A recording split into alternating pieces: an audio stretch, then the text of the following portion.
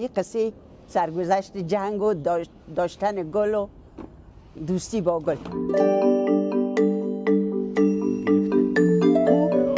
زنده شده ها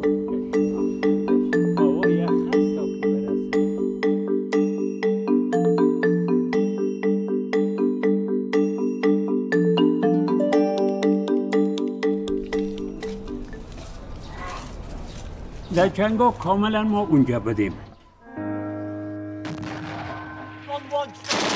در جنگا ماسران بودیم. چهار طرف ما ماسره بود. بیرون برآمده نمی‌تونستیم. این گلا کم شد.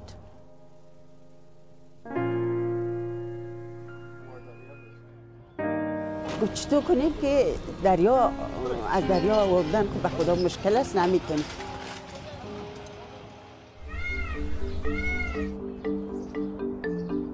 گفتم بیا که خیلی چا بکنیم.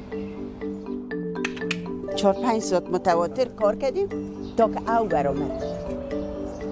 اون خوشحالی را ما دیگه در زندگی فراموش نمیگم پیش از این نمیگشتیم که راکت میایه یا کیمه چا کندیم.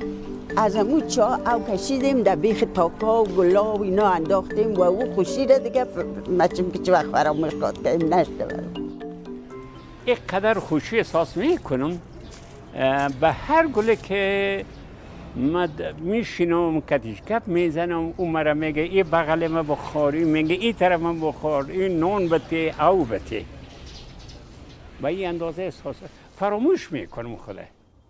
مثلا بیبیاجی چندین دفعه سر صدا می‌کنه من غرق گل هستم. و من آرزو دارم که یک روزی همه تو گل و گلزار شوه و موسیقی باشه مردم آرام باشه مردم آزاد باشه جنگ نباشه.